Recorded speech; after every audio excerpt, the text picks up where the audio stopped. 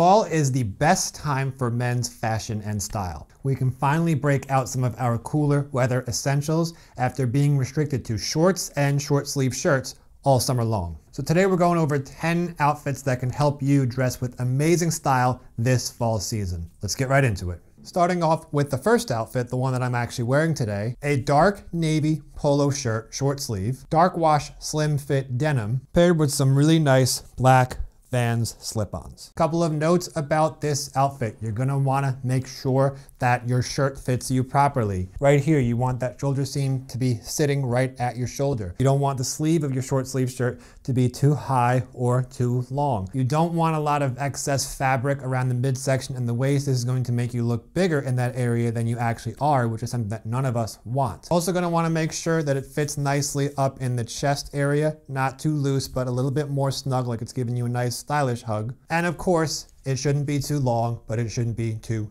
short either. Something like this is going to be totally fine. The jeans, depending on what brand pants you go with, you could either go with a slim or a slim straight fit. These are Levi's 511 slim fit. They're a bit more of a slim straight by today's standards. I did size up one in the waist, which gives them plenty of room to move around in the thighs and the upper areas while still being nice and streamlined, not all baggy down by my feet. Now shoes for this outfit, this is really up to you. I wanted to keep it nice and casual, which is why I went with my all black Vans slip-ons. Now when it comes to cooler weather, a lot of you are going to be wearing t-shirts rather than polo shirts. Me personally, I don't like wearing t-shirts unless I'm going to the gym or exercising. However, you can still rock a t-shirt and look absolutely amazing.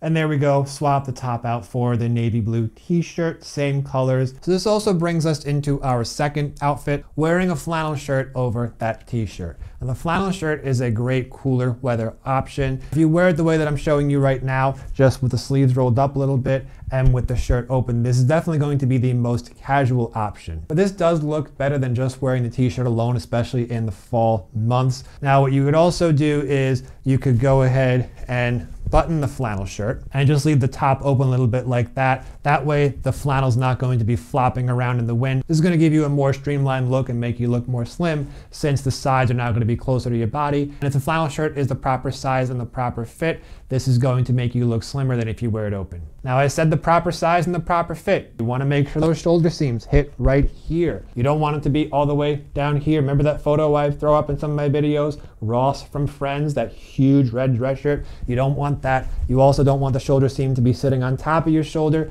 You want that shoulder seam to be boom, right at the edge of your shoulder blade. Now when it comes to the sleeves of the flannel shirt, you definitely don't want to go too baggy, but you don't need to go super tight either. Since this is a long sleeve shirt, the tighter that you go, the more restrictive it's going to be, the less comfortable it's going to be for you to move around. Now the sleeve on this shirt, you can see I do have a little bit of room, but just when I'm crossing my arms like that, you can see it does start to pull the fabric a little bit, keeps it comfortable, but it's also slimmer than just a ginormous fitting shirt. There's also a third way of wearing the flannel shirt. Right now, I just have it half buttoned up. You can button it all the way up and hide your undershirt. That way you don't see it popping up. And now last year I always wore my flannel shirts like this, pretty much just wore them as buttoned up dress shirts. This is gonna be a great option if you wanna wear it to an after work dinner party, since it's gonna be a lot more casual than a stuffy dress shirt, but it's still gonna look miles better than just a basic t-shirt. And now it's time for outfit number three. Light blue Oxford shirt, still the same slim dark wash jeans, Levi's 511, as well as casual leather shoes not boots, shoes. Now my pick for shoes are gonna be the Cole Haan original Grand in either this color or the color that I'm wearing. It's just the same thing with the lighter colored outsole. Now yes, you can go with a pair of boots like these. These things are absolutely sick. For me, it's a bit too early to be wearing boots all the time and something like a hybrid dress shoe from Cole Haan is nice, sleek, and sophisticated. It's going to look a lot better than a pair of Vans slip-ons or Vans old schools, but it's also gonna be super comfortable as well. So this is a great casual option. Now think of the light blue Oxford shirt as a dressed up flannel. That's the way that you should be wearing this shirt. And you could just do a whole bunch with the light blue Oxford shirt. Dress it up all the way to a casual suit in the fall or winter months, or dress it all the way down to just jeans and casual shoes or boots like you're seeing right now. For outfit number four, we're keeping the light blue Oxford shirt, but instead of the dark wash jeans, we're actually rocking a pair of khaki colored casual pants. Now these are also Levi's 511s, however they are not jeans. They're jeans style. We've got the coin pocket right here. We've got the pocket from the top, not the pocket from the side and the more dressy pants, but they're definitely a little bit more of a softer feel than the denim and a little bit easier for those warmer fall days or days that we tend to have in the beginning of the season. Now by simply swapping out the denim for a pair of these, you can see it really does brighten the outfit up, makes it look a little bit less boring, a little bit less generic, and gives it a bit more life. And of course, same shoes, Cole Haan Original Grand, just a great casual shoe for long walks and looking a lot better than wearing a pair of casual sneakers. Now for the fifth outfit, we're having a little bit more fun. We're nixing that Oxford shirt, swapping it in with a darker blue checked pattern, very subtle pattern flannel shirt, keeping the rest of the outfit the same khaki colored five pocket chinos and the same Woodbury colored original grand with that white ivory sole on the bottom. Usually in the fall months, you don't see this outfit or this style of outfit too often. We're always so busy wearing our flannel shirts over our t-shirts and our denim and our boots, but this is a great opportunity to just do something a little bit different from the crowd or a little bit different from just your normal flannel jeans and boots. And the dark blue shirt on top with the khaki pants on the bottom match absolutely perfectly. If you're like me and you really enjoy wearing medium to dark blue shirt or dark blue on top, khaki color pants are definitely an essential. If you're not wearing khakis for the fall months, I'm telling you right now, you're missing out. Now it's time for outfit number six, in case anyone is still counting. For this outfit, what we're doing is we're putting on a short sleeve light blue polo shirt. This polo shirt exactly, I happen to have two of them from Collars & Co. And wearing a nice medium gray v-neck sweater over that polo shirt while keeping the Levi's 511s and the Cole Haan Original Grand brown and white shoes exactly the same. Now what makes this outfit so much more unique than the other outfits we've talked about in this video, we're actually starting to add layers and add some dimension to the outfit. Now layering the thin sweater over the polo shirt is going to give you a more three-dimensional look and it's also going to be super helpful if the day starts out super cold or super cool rather, but then the afternoon temperatures reach up to the low or mid 70s, you're going to be able to shed that sweater but still look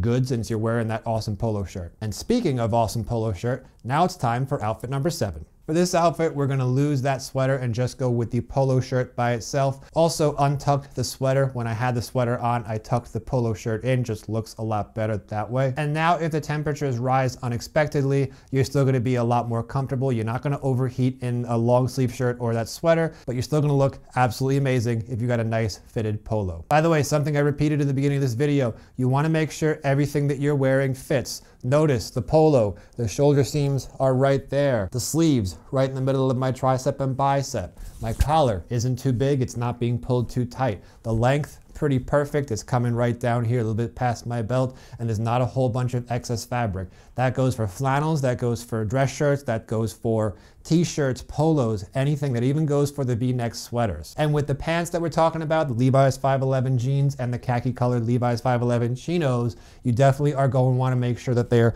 not too slim around the what's this called? Around your calves but also not too baggy either. No boot cut no baggy straight fit, definitely more of a slim or a slim straight fit, but not skinny either. They shouldn't look like they're painted on, but it shouldn't look like you're wearing JNCOs from the 90s. Anyone remember JNCOs? J-N-C-O, probably short for Jean Company. If you do, let me know down below and let me know if you had a pair. I definitely did in about sixth grade. So rather than repeating that constantly every single outfit, just remember everything has to fit. Fit is key, fit is king. It is the most important thing when it comes to dressing stylishly. Now it's time to talk about outfit number eight. Staying with the light blue polo shirt, threw on a navy blue merino wool v-neck sweater, nice, thin, lightweight, but warm. Back to the khaki colored chinos, but also instead of those Cole Haans, threw on some Allen Edmonds Dalton wingtip dress boots. Now if you look at the outfit we talked about, that gray sweater with the jeans and the polo underneath, this is the same concept, however we just switched the colors around a bit. Instead of wearing navy blue pants, the jeans,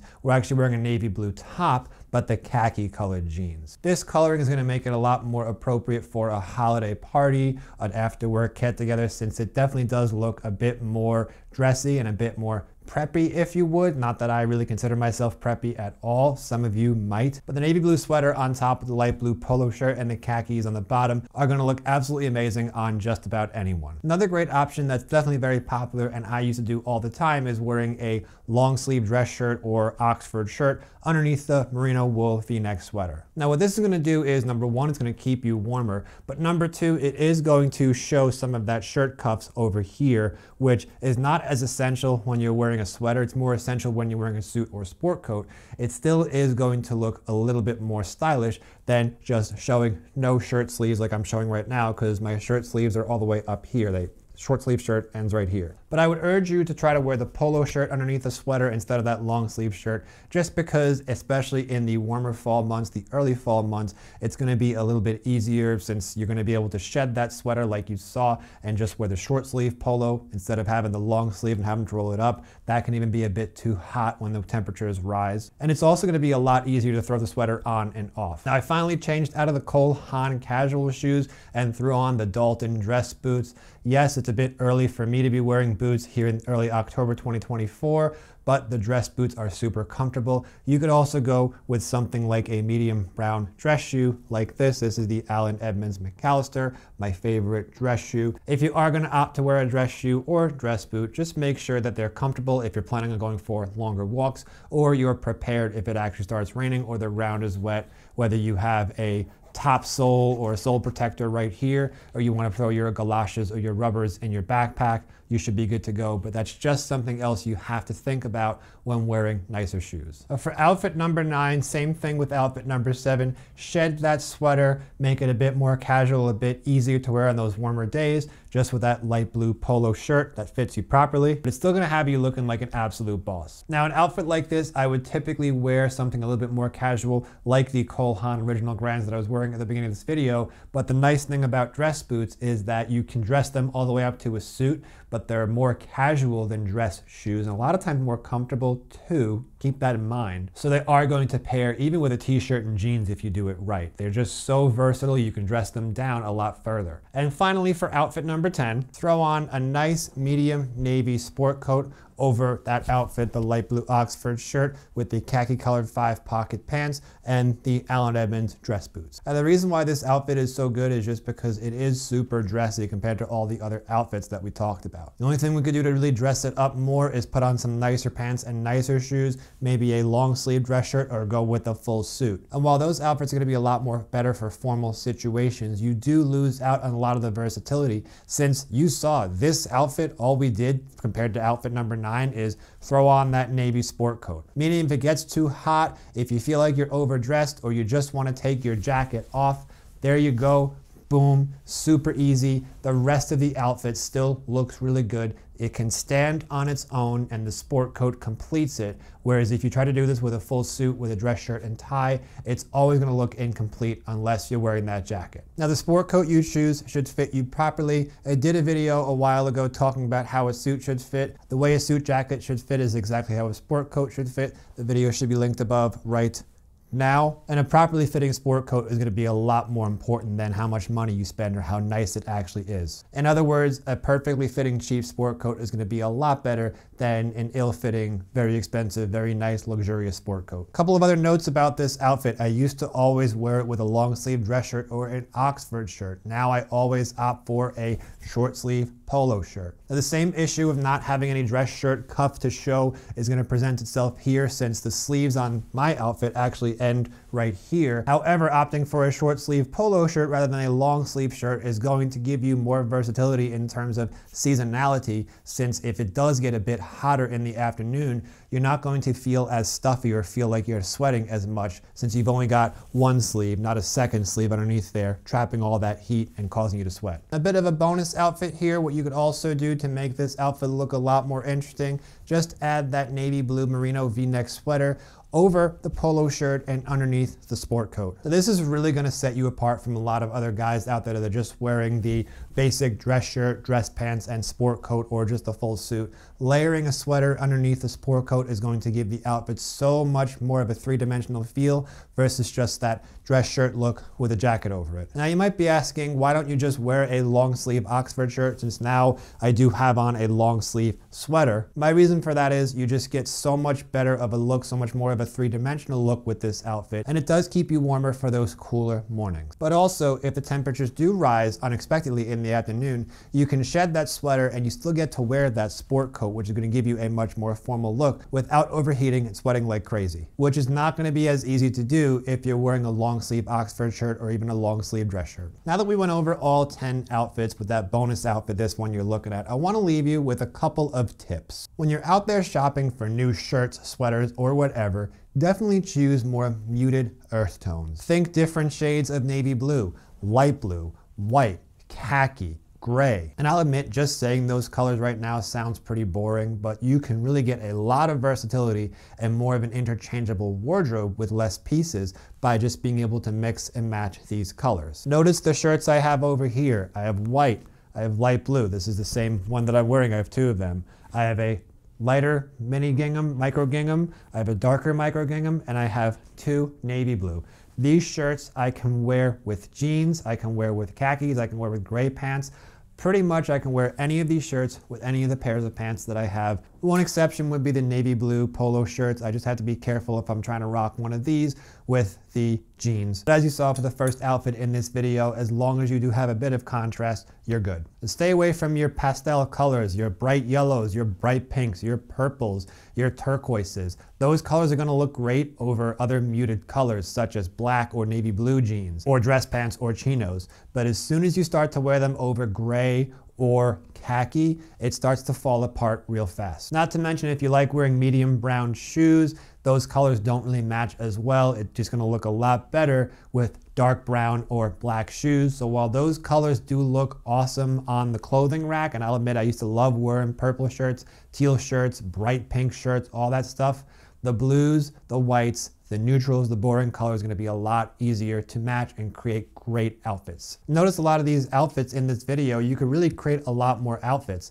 You can wear that navy blue polo over jeans, or you can wear it over the khakis. You can wear the medium brown shoes pretty much with jeans or khakis. Everything works together as it should. It's just gonna make life a lot easier for you. Add some dimension to your outfit by utilizing layers. Instead of just wearing the light blue Oxford shirt, those long sleeve button up shirts with an undershirt sleeves rolled up, try to wear a sweater over them, or better yet, wear one of the polo shirts with a sweater over them. You can get something like a quarter zip sweater, which is gonna look great, or if you're like me and you love the v-neck sweaters, that's a great option as well. It's just gonna look a lot more interesting and feel much better than constantly just wearing the same old button-ups, sleeves rolled up to here. I'm not saying never wear it, just don't get caught wearing the same exact thing because it's gonna get pretty boring pretty fast. Bonus tip number three, utilize khaki chinos and khaki colored pants more often. It's super easy to just get caught up in wearing jeans every single day from fall all the way till late spring. And I get it, jeans, especially dark wash jeans, are absolutely awesome to wear. But khakis are still gonna be a great option, especially if you like to wear darker colors on top. It's gonna create a super nice contrast and just something you're not gonna get with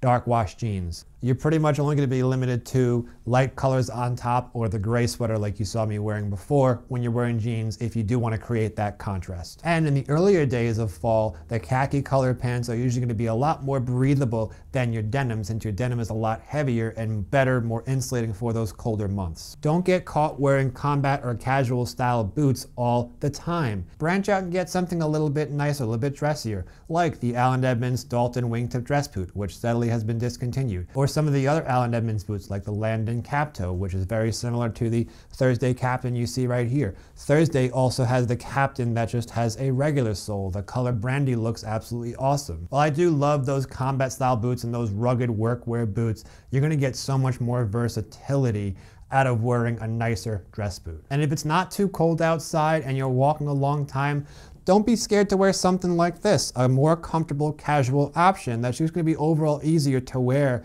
and walk in all day as compared to something like a heavier pair of work boots. Now I know hybrid shoes stirred up a lot of controversy, but I'm telling you, if you want to come to New York City and walk 10 miles with me in the rain or the snow, you're probably going to want something like this toward that end of those 10 miles since a lot of the nicer styled boots your feet are going to be hurting a lot sooner than this. So just branch out, try new things. Boots are sick, but don't discount more comfortable casual shoes like this. They can still look just as good. So that's it, 10 basic outfits that I would wear this fall season. These are more geared for early fall, but you could definitely wear them more in the late fall as well. Just have to utilize layering and utilize those warmer fabric. Hope you enjoyed it. Let me know if you liked any of these outfits and let me know what you would wear. I definitely want to hear from you. And as always, I appreciate you being here. Boo! Thanks for watching.